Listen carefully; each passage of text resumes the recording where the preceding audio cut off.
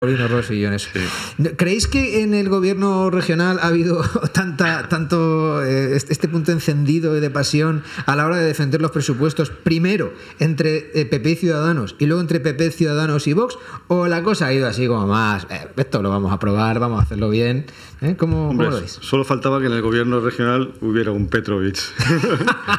Eso sería ya la leche. Hay un director de orquesta que es Javier Celdrán. Eso sí. que es el como, que, base, como base está bien sí, el playmaker que se dice. Eso es, eso es.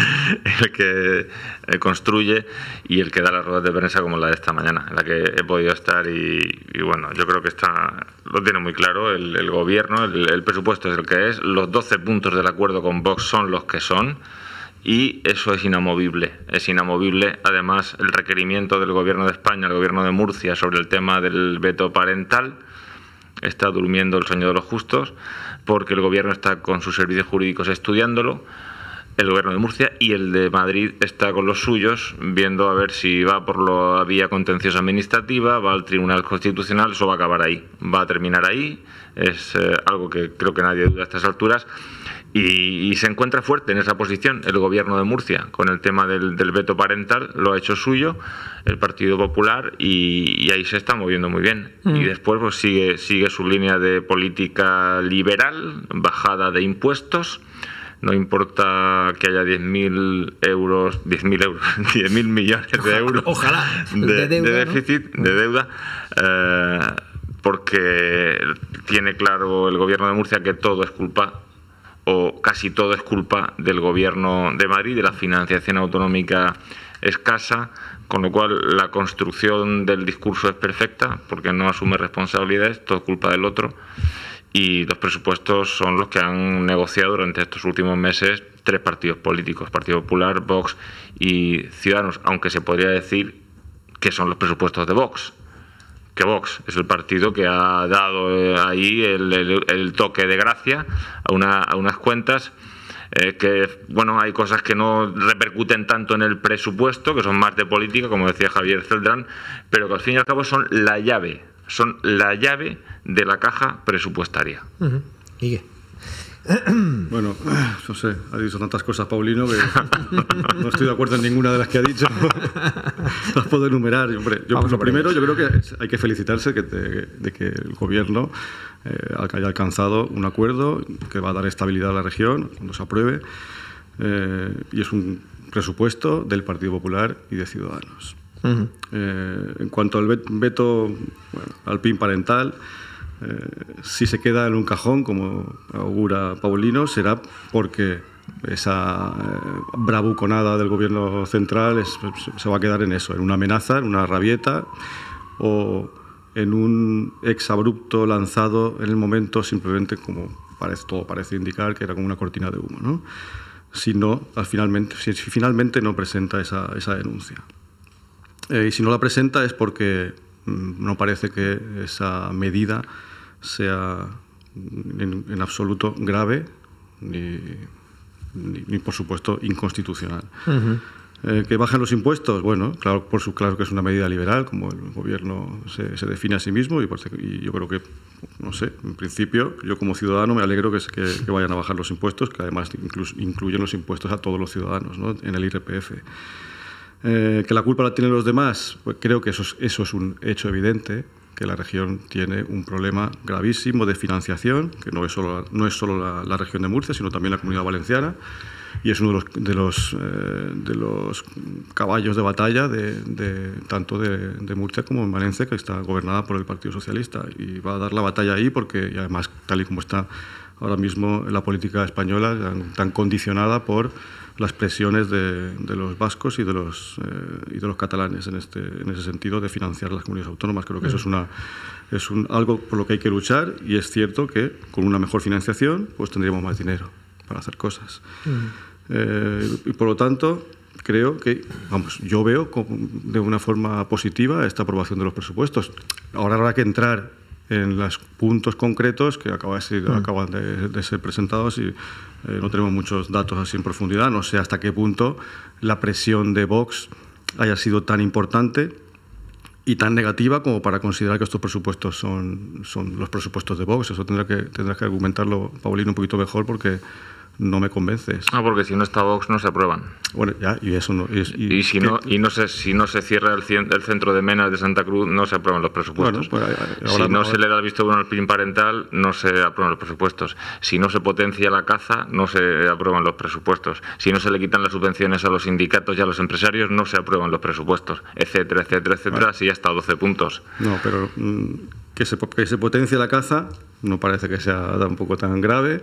Eh, ya hemos dicho que el, que el, PIN parental es una medida perfectamente defendible eh, y otras muchas en los que en algún, en algún caso habrá que, habrá, habrá, que haber cedido a vos, como bueno, es lo de lógico que el PIN parental es perfectamente defendible es algo muy discutible. No, es, es, discutible. es muy discutible y el Tribunal Constitucional terminará diciendo eh, la última palabra. No me cabe ninguna duda. No se va a quedar en un cajón. Eso va a terminar pues eh, yo creo que por la vía del TC, que es, es lo, suyo, ¿no? Porque aquí creo que eh, está muy bien. Vamos a ver, que haya presupuestos de la comunidad autónoma es importantísimo. Que hayan y que se ejecuten los presupuestos que, se, que haya ingresos y que se eh, produzca un gasto y una inversión también ¿no? en, lo que hace falta. Eso es importantísimo para cualquier gobierno, que un gobierno gobierne, que pueda manejar presupuestos, pero para que haya habido esos presupuestos es la primera vez en la historia que se negocian entre tres partidos en un gobierno que por primera vez es de coalición y con la necesidad de un apoyo externo de una fuerza política como Vox que tiene un programa político muy claro y que lo ha reflejado en el acuerdo de presupuestos que ha sido finalmente la llave ¿eh? con la cual abrir la puerta a la Asamblea Regional para meter esos presupuestos, porque si no entra ahí en ese eh, acuerdo de dos folios, 12 puntos, eh, con las tres firmas, lo que dice Vox, pues estaríamos todavía con la negociación en marcha. Así que yo creo que a nadie se le escapa que el gobierno de Murcia está en las manos de Vox, que por cierto, que por cierto, ganó las últimas elecciones en la región de Murcia. Mm. Vamos a ver si, si no se nos olvida. Se refiere y, no se olvida tampoco porque no es igual sentarte en esa mesa a negociar con PP y Ciudadanos habiendo ganado las últimas elecciones que habiendo quedado el tercero o el cuarto. No es lo mismo. No, es lo mismo. no sé hasta qué punto son conscientes en el PP y Ciudadanos que están en esa situación de inferioridad. Hablamos de las últimas, las generales, pero son las últimas y la referencia en este momento de por dónde va la cosa. Y por lo que dicen las encuestas, la cosa le sigue yendo bien a Vox. Es decir, pues Vox está haciendo lo que tiene que hacer cualquier partido político, ¿no? Intentar eh, arrimar a la escuadra. Pero eso es, eso es el futuro. El presente, es, bueno, yo no conozco ningunos presupuestos, jamás, que hayan sido bendecidos por la oposición. Siempre los presupuestos son eh, rechazados, eh, criticados, etcétera, ¿no? Mm. Y ahora tenemos unos presupuestos que los ha aprobado el gobierno, que es coalición, Partido Popular y Ciudadanos. Que necesitan el apoyo de Vox, eso es evidente. Pero de ahí a decir que son los presupuestos de Vox, creo que eso no está justificado, porque si fuera así, pues entonces hubiera entrado Vox en el gobierno y, gobernaría Vox. Simplemente eh, ha habido una.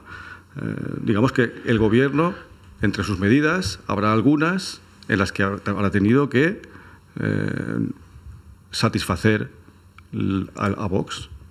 Pero no porque esté en contra de esas medidas que Vox ha exigido. Sí, es una de las cosas que quería yo añadir ahora. Es decir, el gobierno creo que asume cada uno de los puntos de su presupuesto. Y especial el del PIN parental. ¿eh? Y, ese, y eso, no, ese, eso no es una exigencia de Vox. Mm. El PIN parental no es una exigencia de Vox, porque entre otras cosas, lo ha dicho el presidente López Miras, es una mm. medida que ya se viene aplicando desde hace mm. tiempo. Y hasta con un criterio bastante... ¿Desde cuándo? ¿Desde este curso? No, y en el seno del gobierno... Donde sea, desde este verano. Pero, pero, y, aunque fuera una medida pedida por Vox y se hubiera aplicado, si esa medida es defendible y además justa, pues entonces bienvenida. A mí me da igual que las medidas las proponga Vox o que las proponga Podemos, me da igual. Hay que juzgar es la medida.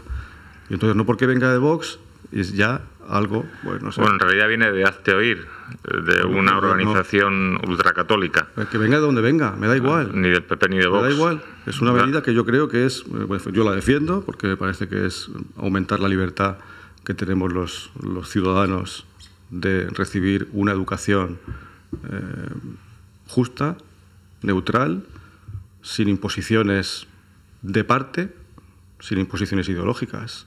Y eso es lo que se consigue con, el, con la autorización de los padres a determinadas charlas en los colegios. Yo creo que es una medida que, es, que luego que, que tenga determinados aspectos que son discutibles, todo es discutible.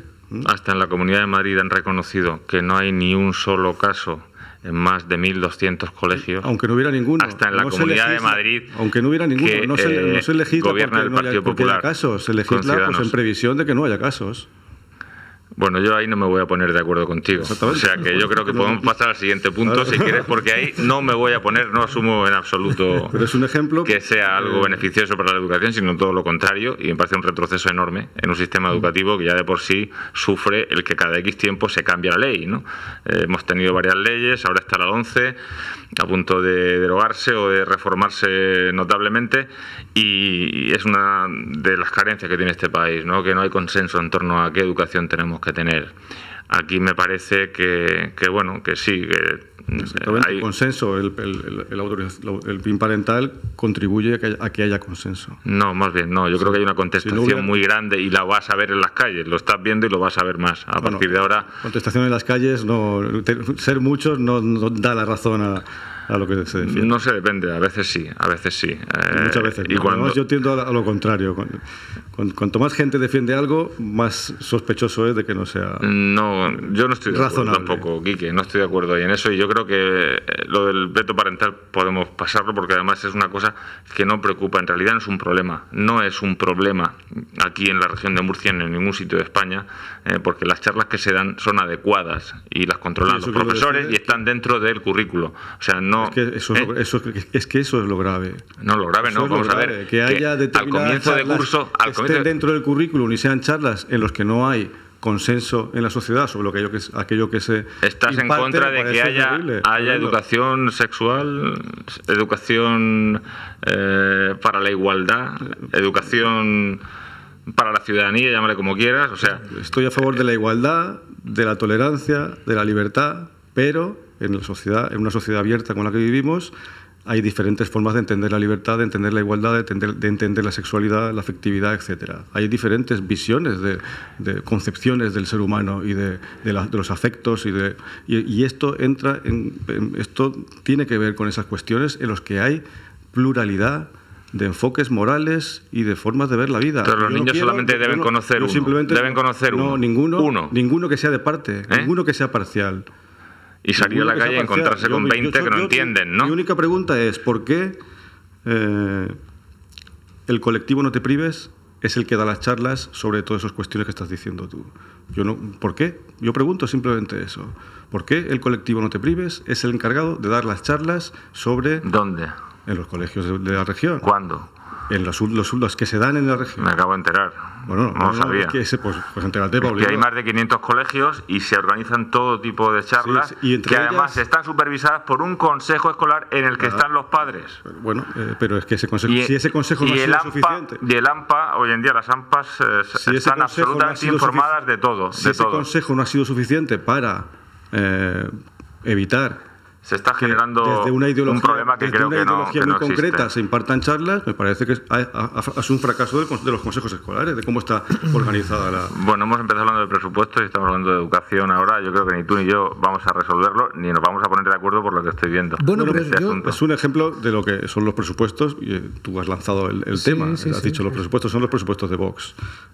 Sí, yo creo que sí. Sí, no obstante, a mí, eh, más allá de que me ha resultado francamente interesante ver esa dialéctica, esa eh, disputa que habéis mantenido, creo que también es enriquecedora por dos cuestiones. ¿no? La primera, obvia, por, por- porque es una aportación absolutamente personal de cada uno, toda eh, expresada con el mayor de- los respetos eh, por el otro. ¿no?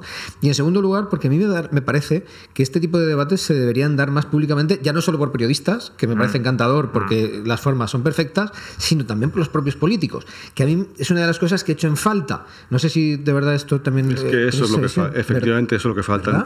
Todo, en todo lo que se Claro. está exponiendo sobre el, el PIN parental, todo es eh, declaraciones Sí, sí, sí. desinformadas, Es todo como- eh, extre- extremadas, Entre bambalinas todo. ¿eh? en vez de Sí, sí. discutir punto por punto en qué consiste el PIN parental y es. cuáles son las razones a favor y en contra. La educación lo, en lo este país- Si tú defiendes el PIN parental y de repente automáticamente te conviertes en un fascista Y en un ultraconservador, pues entonces así, así vamos. En este país hay problemas en la educación muchísimo más graves. Bueno, primero niego que sea un problema lo de, lo de lo que comentas tú de las charlas y demás. No hay problema, no hay, cero problema. Pero la educación de esta región de Murcia... yo soy padre y tengo hijos en, edad escolar y sí considero que hay eh, ¿Cuántas charlas fuera de tono? Y, si tú no, y, si, y si no ves que esto es una guerra cultural, si no lo ves, o, es, o te estás haciendo el ingenuo. No, vamos a ver. o te estás haciendo el ingenuo. Una guerra por el poder, una lucha por el poder. Y Vox sabe perfectamente cómo manejar la agenda política. Está introduciendo todo lo que quiere en la agenda política. Y este asunto, que no va de dinero, porque aquí no hay presupuesto detrás. No, de que es de ideología pura y dura. Exactamente. Es una palanca para seguir abriéndose paso ¿eh? y para seguir aumentando votos porque da lo mismo que no haya problema porque no hay ni una sola denuncia en la región de Murcia, ni de un AMPA, ni de un padre, ni de una madre, sobre una sola charla que haya sido inadecuada. no hay ni una sola denuncia, lo ha dicho el propio presidente López Mira. Pero, Paulino, antes, antes las mujeres tampoco denunciaban cuando sufrían un no abuso no comparemos, y No comparemos. ¿Qué pasa, ¿Qué pasa, en el mundo de la educación en, este, en este país? Que los padres están sumisos, que los padres están resignados y que los padres tampoco están. Entonces, pues entonces hay una ideología que es la que ha impuesto en este país su forma de pensar en la educación, porque eh, es allí donde más puede influir. y ahora, y lo que está, simplemente lo que está haciendo Vox es plantar cara a esa, a esa ofensiva. Plantar cara. Lo de Vox es una reacción. Vox no ha inventado nada. Vox ha dicho basta. Que de la última década, ocho años ha gobernado el PP. De la última década, ocho ha gobernado el PP. Quiero decir. Sí, pero la guerra cultural no la está ganando el PP. Eh, lo dicho, me ha parecido em, tremendamente enriquecedor escucharos y saco muchas conclusiones. Esta última, la que se refiere a que los políticos, más allá de que se pueda considerar el, PIN parental, por ejemplo, ¿no? Eh, como, un, problema o no, pues no dejan también de ser visiones más allá de datos objetivos que se han puesto encima de esta mesa hoy, que los políticos debatan con un carácter de muchísima mayor apertura del que nos han acostumbrado. ¿no? Han hecho una gestión de este, de, este tema bastante opaca. No vale solo con salir a hacer declaraciones y decir, no, es que esto va por aquí o esto va por allá. Y ya veremos ahora si nos ponemos de acuerdo. No, no, yo creo que hay que dar un foco a la sociedad para que hoy en día, que además tenemos el enorme privilegio los ciudadanos de poder contar con múltiples y diversas formas de informarnos, realmente es tristísimo y lamentable que haya tanto oscurantismo respecto a un tema que a mí me parece, más allá de ser un problema o no, que es un foco de interés de la sociedad. En los periódicos, eh, a decir verdad, en los periódicos de la región, tanto en La Verdad como en La Opinión, mm. quien ha querido ha podido leer artículos de fondo de personas, eh, desde juristas hasta sociólogos, expertos en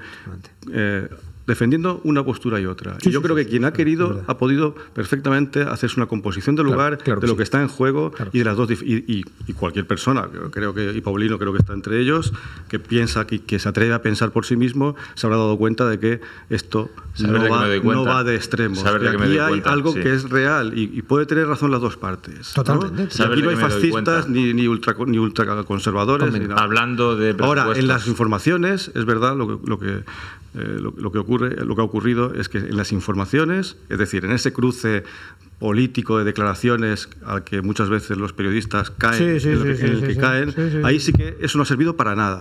y, tristemente, pues se supone que la, mayoría de la gente lo que hace es quedarse con ese cruce de declaraciones mm. que no que realmente no aportan nada porque son distorsionados de la realidad, de la realidad de lo que, de lo que del problema. ¿Sabes de lo que me doy cuenta? Me doy cuenta leyendo la prensa y escuchando la radio y viendo la televisión aquí en la región de Murcia, que tenemos muchos medios eh, escritos online de todo tipo, hmm. me doy cuenta de que no se habla de cuáles son los auténticos problemas del sistema educativo de la región de Murcia. No se habla de cuáles son los problemas hmm, de la sanidad de la región de Murcia, que se lleva casi 1.900 millones de euros de los 4.700 que tiene la comunidad autónoma para este año. No se habla de todo lo que necesita la sanidad. No se habla de la vivienda no se habla del empleo, no se habla de lo que realmente interesa a cada persona de esta región en el día a día. Y de todo eso no se habla. Porque ¿de qué se habla? Se habla del PIN parental, porque se habla de Cataluña, es importante, se habla de Venezuela. También es importante, Paulino, que no se hable de, muchas cosas importantes no quita importancia a estas, que también lo son. Ya, pero monopolizan. Ah, eh, bueno, Los monopolios no son buenos. No, no, o sea, monopolizan mm. el, el, discurso, el debate, el relato. No. Eh, yo soy usuario de la sanidad, de la educación, como tú y son los pilares del estado del bienestar, dicen, ¿no? Hay muchas cosas por hacer, muchas cosas por hacer. seguro, seguro. Y, bueno, yo creo que todos sabemos lo que, lo que falta, ¿no? Sobre todo es eh, medios humanos, medios humanos y volver un poco a, lo que teníamos, a, lo que se ha ido perdiendo. Vas a decir, bueno, es que hay que privatizar o, en fin, liberalizar, vale, pero vamos a hablar de lo que nos interesa a todos y de en qué se gasta realmente el dinero y de cómo van a gastarse esos 40 millones de euros presupuestados para resolver el problema del Mar Menor, cómo va a gastarse el dinero del plan de vertido cero, cómo se van a evitar las próximas inundaciones, etcétera, etcétera. Y eh, lo del PIN parental debe ser... Eh, eh, yo, yo, creo que un gran debate entre unos y otros, pero yo creo que ya podemos aparcarlo. Pues Aparcar, mientras esté eh, vigente no hay que aparcar nada, hombre. los temas, vigente está. Los temas del comer son muy importantes, ¿no? y, y los temas de la salud no te digo, pero también de la salud moral y espiritual de la gente, eso también es muy importante. Y además incluso está en la base de todo lo que ocurre. Y aquí hay un problema. Pues em, un encanto escucharos, repito, y repito corto y cambio o, corto y cierro ya, eh, que, nos, hemos ido del tiempo, pero además eh, yo creo que muy acertadamente. Nos escuchan, porque me consta que nos escuchan, ya os lo digo yo. No obstante, esta tarde vamos a encomendarle la misión a nuestros compañeros de producción que cojan el, podcast, lo empaqueten con un lacito y se lo envíen al 101% de los políticos de nuestra región, ¿eh? sea en la comunidad autónoma, sea en los ayuntamientos, y que se lo escuchen. Una, 20 minutitos, 20, 25 minutos de didáctica como las que, como la que habéis dado vosotros, les van a venir de maravilla. Oiga, qué, qué, qué estupendo va a ser todo. Como lo escuchen y lo van a escuchar, pues ya te digo yo que van a ser un poquito mejores. Mañana serán un poquito mejores, se levantarán y oye, tendrán una visión, pues que si no tenían, al menos no tenían claro que otros la tuvieran. Y eso es bueno que lo vayan sabiendo. Que hagan su trabajo, que hagan su trabajo. Eso es, eso es. Y, nosotros haremos el nuestro, que preguntarles. Sí, sí, por todo. No, no, y ayudarles también a que lo hagan bien. claro que sí, sí, sí, sí. Oye, sí, al final ya no es tanto una cuestión de dar consejos, ¿verdad? Como sí de aportar la visión del ciudadano. Es que yo creo que hay un foco que se pierde mucho.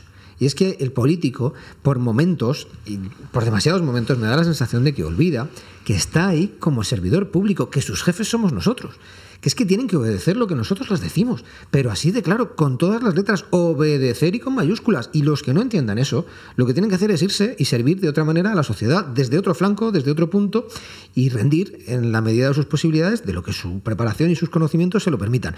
Pero esa gestión que en muchos casos lleva a cabo el político de turno, que es más allá de ser cortoplacista, lo hemos comentado en algún momento en la tertulia hoy aquí en la radio, y que además se centra solamente en que la idea buena es la suya, es un político que no nos vale y menos hoy en día un político del siglo XXI, en el año 2020, donde la apertura de, miras y de verdad, eso que odio la frase, ¿no? Lo de la altura de miras, es que lo odio, no me gusta nada. Los tópicos son una cosa espantosa, pero es verdad, hay que tenerlo, hay que tenerlo. Así que nada, por favor, escúchense este podcast magnífico que nos han dejado Enrique Arroyas y Paulino Ross. Muchísimas gracias a los dos por venir a la radio. A ti, gracias. Hasta la próxima.